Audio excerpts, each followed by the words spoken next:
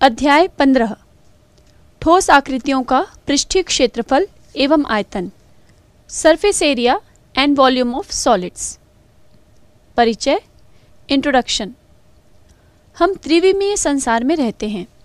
जिन त्रिविमीय आकृतियों को हम देख सकते हैं या स्पर्श कर सकते हैं, उन आकृतियों की लंबाई, चौड़ाई और ऊंचाई को मापा जा सकता है।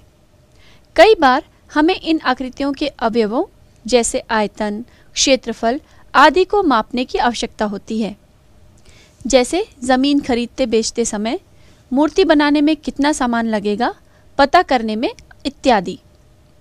त्रिविमी आकृतियों के क्षेत्रफल और आयतन पता करने के पहले हम इन आकृतियों को खोलकर देखते हैं।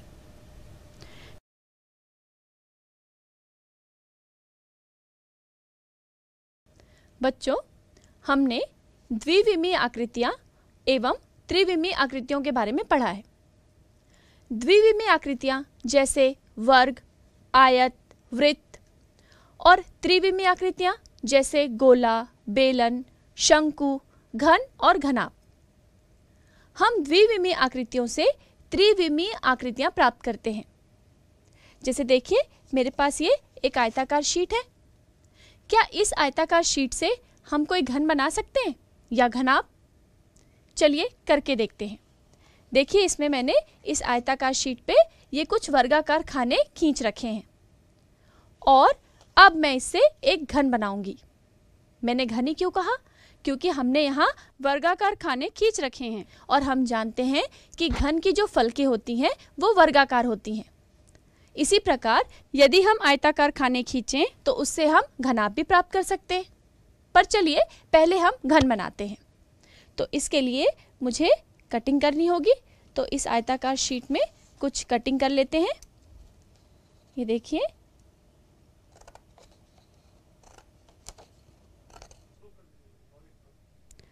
इस तरह जिन खानों की हमें आवश्यकता नहीं है, चलिए उन्हें काट कर अलग कर लेते हैं।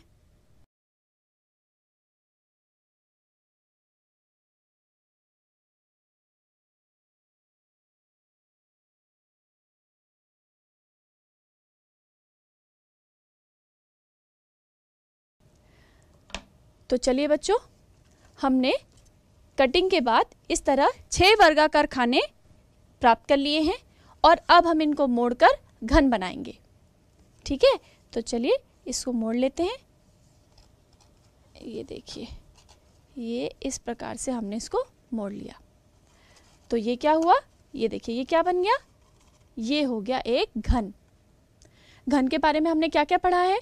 उसमें छः फलकें होती हैं तो छह वर्गाकार खानों से बनाया हमने तो छह फलक हो गई है। देखिए, एक, दो, तीन, चार, पाँच और ये छः और कितने शीश होते हैं उसमें? आठ शीश तो आठ शीश कौन से हुए देखिए? एक, दो, तीन, चार, पाँच छ सात और ये आठ। ठीक है, अब बात करते हैं कोरों की, यानी कि उसकी भुजाएँ। तो कितने होंगे कोर? बारह कोर। चलिए उसे भी गिन लें। तो देखिए यहाँ पर एक दो तीन चार उसके बाद नीचे के फलक को ले लेते हैं। पाँच छ सात आठ नौ दस ग्यारह और बारह। तो इस प्रकार हमें बारह कोरें भी मिल गई। तो ये हो गया हमारा घन। ये घन हमने कैसे बनाया था? ये घ, जो घन है ये हमने इस प्रकार की जो द्विमीय आकृति हमें छह वर्गाकार डब्बों से जो थी, उससे हमने घन बनाया था। यही उस घन का पृष्ठीय जाल है।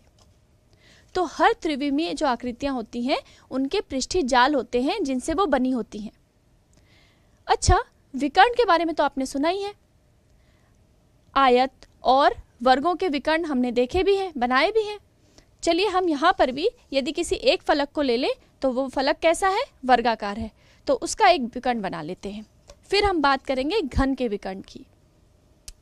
तो ये देखिए, इसके एक फलक पर मैं विकर्ण बना ले रही हूँ। ये बन गया। ये देखिए, ये एक विकर्ण बन गया। ये इस वर्ग का विकर्ण है। अब यदि हम घन का विकर्ण चाहते हैं, जिसे हम आकाशीय विकर्ण कहते हैं, वो किस प्रकार का होगा? वो देखिए, वो इस प्रकार फिर से ये घन हम बना लें। तो इस शीर्ष से, यहाँ यहाँ जो आपको ये शीर्ष दिखाई दे रहा है, ये जो शीर्ष है, इस शीर्ष से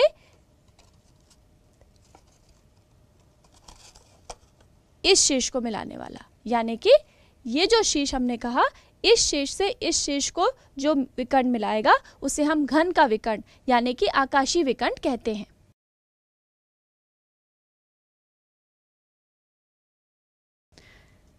देखिए बच्चों, ये हमने एक और पृष्ठी जाल बना लिया है।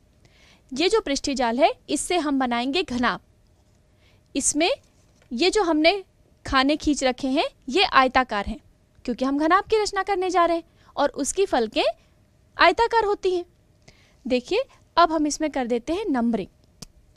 ये फलक एक, दो, तीन, चार, पाँच, और ये हो गई छ। छः फलकें। बच्चों, यहाँ नंबरिंग की आवश्यकता क्यों है हमें? ये देखिए, इस प्रकार से हमने नंबरिंग कर दी है। यहाँ पर हमें नंबरिंग की आवश्यकता इसलिए है क्योंकि आयताकार जो फलकें होती हैं, वो आमने सामने की फलकों को ज़रूरी है कि वो समान हो, तभी घनाप की रचना होगी। तो यहाँ पर देखिए, ये जो पहली फलक है, ये तीसरी फलक के आमने सामने होगी, ये दोनों फलकें, इसलिए इनको समान होना चाहिए। दूसरी और चौथी फलक जो है, वो आमने सामने होंगी, इसलिए उन्हें समान होना चाहिए।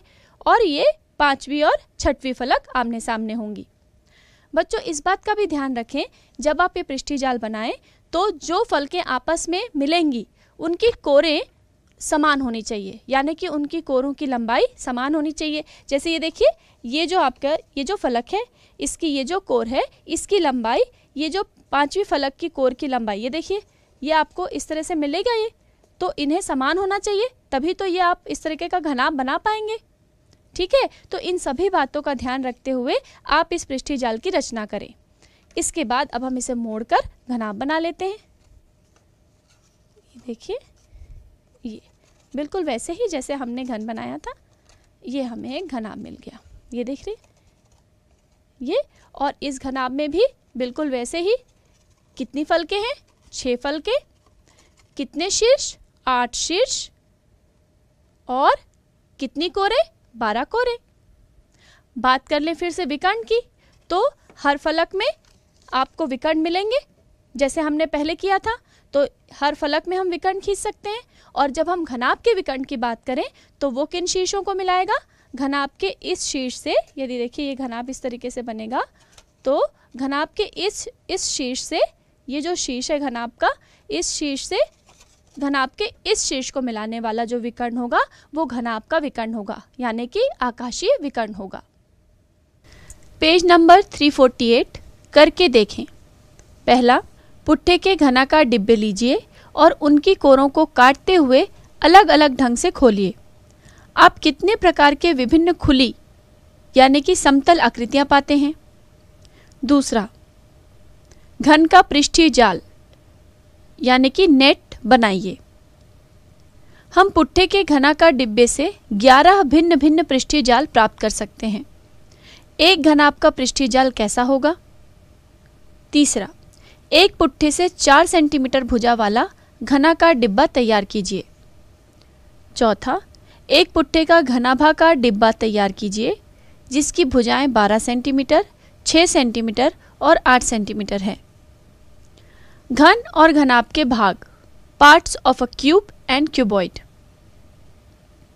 पहला, घन और घनाप के पृष्ठ, कोर और शीर्ष फेस एज एंड वर्टेक्स पिछली कक्षाओं में हम घन घनाप और बेलन के बारे में पढ़ चुके हैं। इस अध्याय में हम घन और घनाप के भागों के बारे में जानेंगे। पता लगाएँ एक्सप्लोर दिए गए घन और घनाप के चित्र को देखिए। यहाँ A B C D E F G H घनाप और P Q R S T U V W घन है। घन और घनाप का नामकरण शीर्षों के आधार पर होता है। क्या आप घन और घनाप के पृष्ठ, कोर और शीशों को गिनकर उनके नाम बता सकते हैं? घन या घनाप के पृष्ठों व शीशों के बीच क्या संबंध है? आकृति सात व आठ का अवलोकन करते हुए मित्रों से चर्चा करें और अपनी अभ्यास पुस्तिका में लिखें। आपके अवलोकन के बिंदु निम्नलिखित हैं। दिए गए घनाभ में छह पृष्ठ हैं, जो A B C D E F G H A F G B G E H C A F E D और बी जी एच सी हैं। ए बी सी डी और ई एफ़ जी एच आपस में बराबर हैं। इसी प्रकार ए F G B और G E H C A F E D और बी जी एच सी बराबर हैं। आकृति सात व आठ का अवलोकन करें और बताएँ कि कौन कौन सी कोरों की लंबाइयाँ और कौन कौन से पृष्ठ आपस में बराबर हैं। दूसरा, घन और घनाप के विकर्ण diagonal of a cube and cuboid शिक्षक ने विद्यार्थियों से पूछा, चौक के डिब्बे व कक्षा की आकृति कैसी है? सभी विद्यार्थियों ने उत्तर दिया कि घनाप जैसी है। तब शिक्षक ने पाँच विद्यार्थियों को बुलाकर उन्हें चौक के डिब्बे में पेंसिल रखने को कहा। विद्यार्थियों ने कहा कि पेंसिल किसी भी तल पर रखने पर डिब्बे में नहीं आती। A, B, C, D, E, F, G, H chalk का एक डिब्बा है। इस डिब्बे में पेंसिल को तल बी, जी, एच, सी पर रखने पर हम देखते हैं कि पेंसिल डिब्बे के अंदर नहीं समा पाती। क्योंकि पेंसिल की लंबाई डिब्बे की लंबाई से अधिक है। तब क्या पेंसिल को डिब्बे के अंदर रखा नहीं जा सकता? लेकिन यदि पेंसिल को बी जी एच सी पर इस प्रकार रखें कि उसके सिरे बी एच या जी सी की ओर हों, तब एक संभावना बनती है कि शायद पेंसिल डिब्बे में समा जाए। क्योंकि आप देखते हैं कि बी जी एच सी में बी एच या जी सी की लंबाई बी जी व बी सी से अधिक है। एक चौक का या अन्य कोई खाली डिब्बा लेकर देखें जो घनाभ के आकार का हो। यदि पेंसिल को ऐसा रखने के बाद भी वह डिब्बे में समा नहीं पाती, तब क्या पेंसिल को रखने का कोई और तरीका हो सकता है, जिससे पेंसिल के डिब्बे में समा सकने की संभावना हो? अब यदि पेंसिल को इस प्रकार रखें कि उसके सिरे डी जी या ए एच या एफ़ सी या ई e बी की ओर रहे तब हम देखते हैं कि पेंसिल के डिब्बे में समा जाने की संभावना और भी बढ़ जाती है। यानी, यह दूरी डिब्बे के अंदर की सबसे लंबी दूरी होती है। यह दूरी चौक के डिब्बे, यानी कि घनाभ, का आकाशीय विकर्ण है। यानी A H D G F C E B घनाभ A B C D E F G H के आकाशीय विकर्ण हैं। इन्हें हम घनाभ का विकर्ण कहते हैं। घनाभ A B C D E F G H में उसके तल के विपरीत कोनों की दूरियाँ जैसे ए ई व डी एफ़ डी एच व ई सी इत्यादि घनाभ के पृष्ठी विकर्ण हैं। तब शिक्षक ने कक्षा के सभी विद्यार्थियों से कहा कि किसी घनाकार डिब्बे में धागे की सहायता से आकृति नौ में दर्शाई गई दूरियों D1, D2, D3 व D4 को माप कर देखें कि उनमें कौन सी दूरी सबसे अधिक है। इन दूरियों को हम क्या कहेंगे? D1, D2 और D3 को घनाभ का विकर्ण कहते हैं। परंतु D4 क्या है? क्या हम इसे भी विकर्ण कह सकते हैं? यह भी एक विकर्ण है किंतु बाकी से अलग। यह घनाभ के किसी भी तल पर स्थित नहीं है। इस प्रकार D1, D2, D3 और D4 विकर्ण हैं परंतु ये दो भिन्न प्रकार के हैं। D1, D2, D3 किसी पृष्ठ पर बने विकर्ण हैं इसलिए इन्हें पृष्ठी विकर्ण कहते हैं तथा D4 पूरे घनाभ में है। इसलिए इसे घनाभ का विकर्ण डायगोनल ऑफ़ क्यूबॉइड या आकाशीय विकर्ण कहते हैं।